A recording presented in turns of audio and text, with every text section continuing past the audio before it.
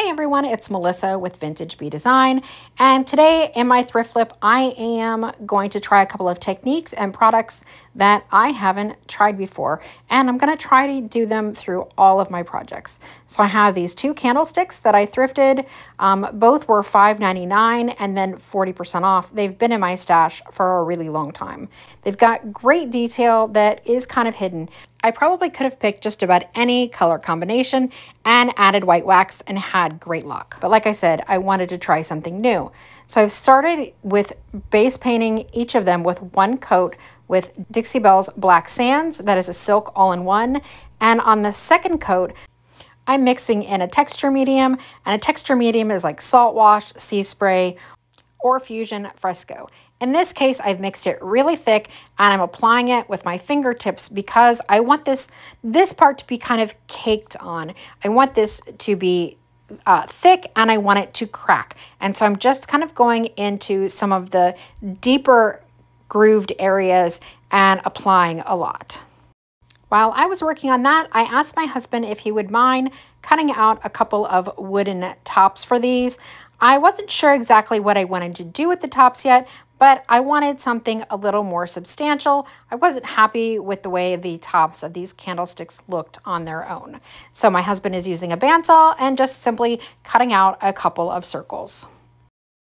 Now, next to that sort of thick, grungy texture I created, the really thick, I'm going for a softer texture. And to do this, I'm actually just sprinkling my texture medium right over the piece.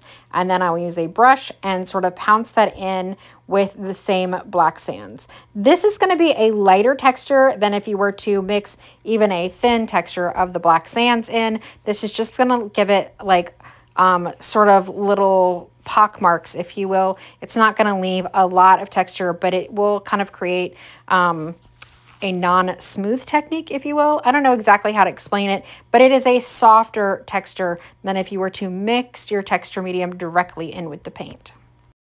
In this close-up, you can see the difference between the two textures.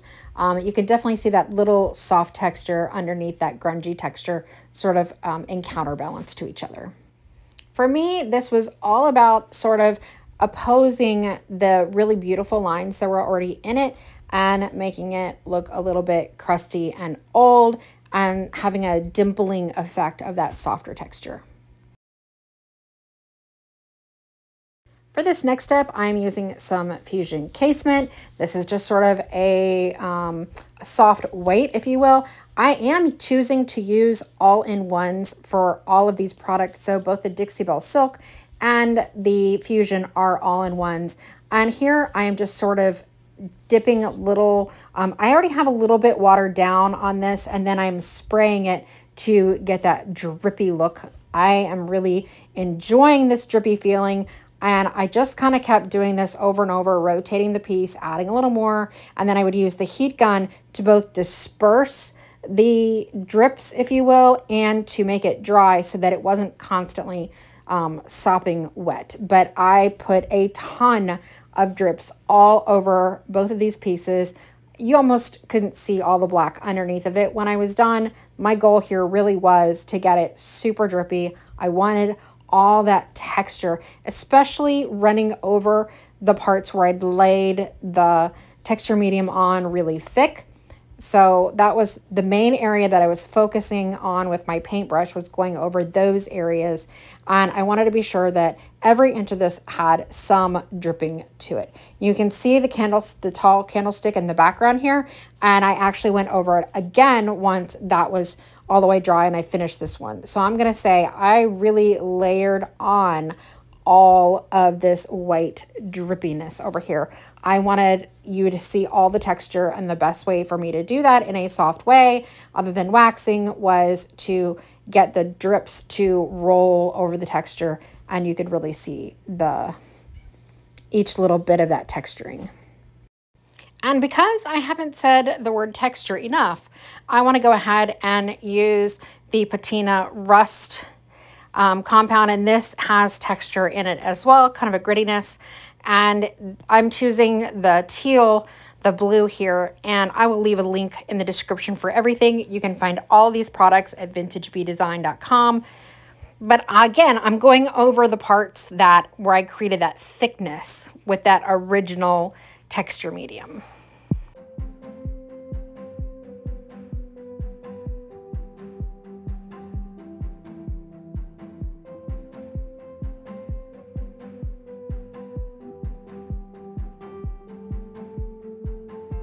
Now that I have the texture really highlighted through the drippies, I am going to go back with some white wax and white wax this entire piece. This is going to soften the drips, make it a little bit aged and um, sort of limed, if you will, where the if this had been a real iron patina, something like that, it might have white, it might be, be turning white. And it's also going to really pull out all of those carved details that are in both of these candlesticks. I think you can see in this close-up how it has really softened it overall. One of the products I haven't tried before is Dixie Belle's Copper Gilding Wax. So I picked up some for myself and I am going to add this to the candlesticks. I am primarily going to add this where um, kind of along the ridges and any place where I have a lot of that texture. Again, the, the original thick, thick texture. Um, and I'm to go in the areas that I have added the blue because ideally the copper is, we're to make this look like aged copper um, or aged iron. And I want a little bit of shimmer. So I've started off kind of doing all the details and then I'm to sort of wipe that back a bit to soften it and really focus on the the areas where I already have blue and again those thick texture areas. To balance it all out, I did add some random little uh, dry brushes of the copper to some of the larger areas as well. Now I'm going to go in with some DIY dark wax. I know there's a lot of layers here, but trust me, it'll all be worth it in the end. I just keep adding um, just to until I'm happy. So I'm not going to dark wax this whole thing. I'm actually only sporadically dark waxing and really I'm trying to do this in a almost a dry brush fashion. This is just to add a little bit of depth in some random spots. So that's going to balance all of that later whitewashing and the white drips. And here's another product that I haven't tried before. I am now going to add some of DIY's Shipwrecked. This is sort of a turquoise patina and it works as the counterbalance to the copper. So here I am going to go into the grooved areas primarily and then I'm going to wipe it back. I wasn't really sure about this, but I had seen it used in another video recently in the faux copper effect, and I decided I really wanted to try it. So again, I picked up some for myself, and I am really excited about how this turned out, and I actually will use it in the other projects I have moving forward in this video as well. I also added a little bit of Dixie Belle in the color Earth. I did not add any additional wax or anything, and I did use the little pointed brush from DIY paint, and I'm just sort of dusting this in places, and that is to take away a little bit of that sheen, and really I'm just trying to push it into those cracked, crusty areas. Um, this is, again, just to make it look a little bit old. I didn't use a ton on this, but I am super happy with the overall look this gives. I think as you look closely at this, you can see that just sort of softens and grunges it up a bit. And it's a nice juxtaposition to the shimmery copper and the turquoise. Can you see the patina in all those little cracks? And again, I didn't use it everywhere. I just sort of used it sparingly to add a little bit of extra color and texture. So now I am going to rough up the circles that John cut out for me. I, in the end, you could skip this step. I don't think you could really see it, but my original thought, you know, I wasn't really sure how I was going with this. This is sort of an example how things morph over time. What I wanted to do was add some old and gray. This is a barnwood patina. It is a gray patina, but when I added it, well, it's the right color. When I put the wood next to the candlesticks, I didn't really like seeing the wood grain.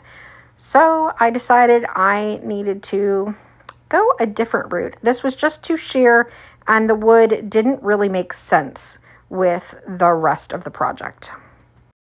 I broke out my texture medium again. I don't want this too rough because I do want to be able to put candlesticks on here, but I broke out the texture medium, tried that with the Olden Gray. I still wasn't getting the exact look that I wanted, so I left this kind of thick and then mixed up a little bit of leather press gray while this was still wet.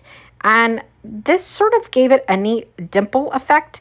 And I was, again, um, this was something that I was sort of, you know, pulling out of thin air. How am I going to make this work?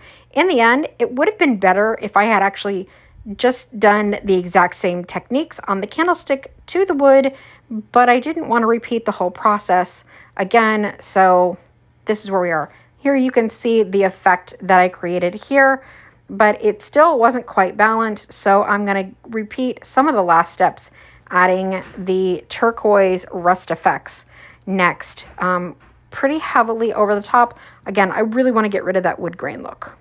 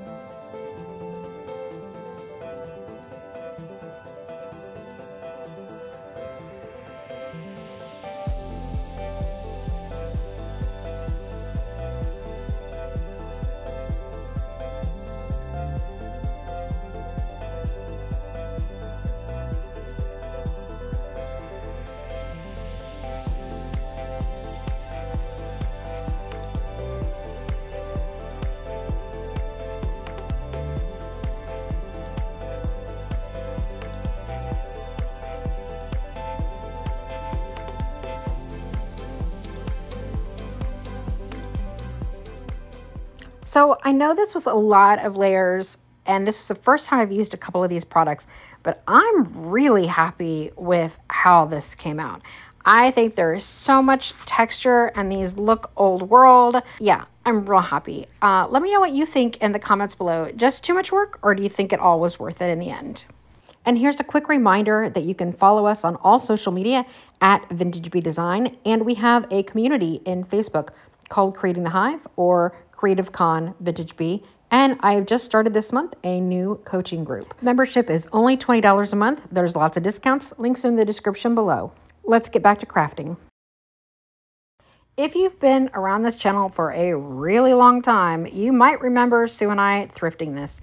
This was thrifted kind of as a challenge to myself to see if I could actually make something this awful and there's lots of broken bits look actually reasonable that somebody would want to buy it. So the first thing that I did was paint the entire thing in Hampton Olive, which is an all-in-one silk by Dixie Belle.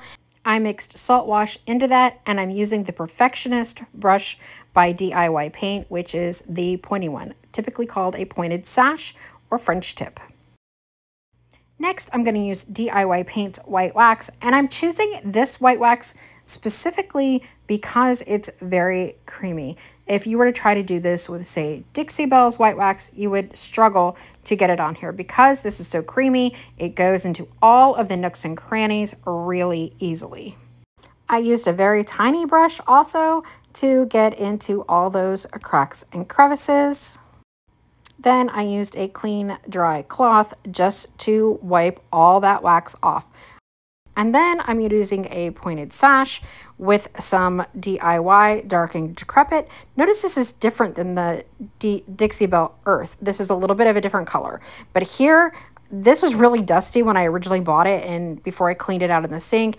And I'm using this to create a little bit of dust again I want this to soften the harsh white wax that I just put on. And again, I didn't use any extra wax. I'm just using this to, again, make it look old and not like it's just been painted.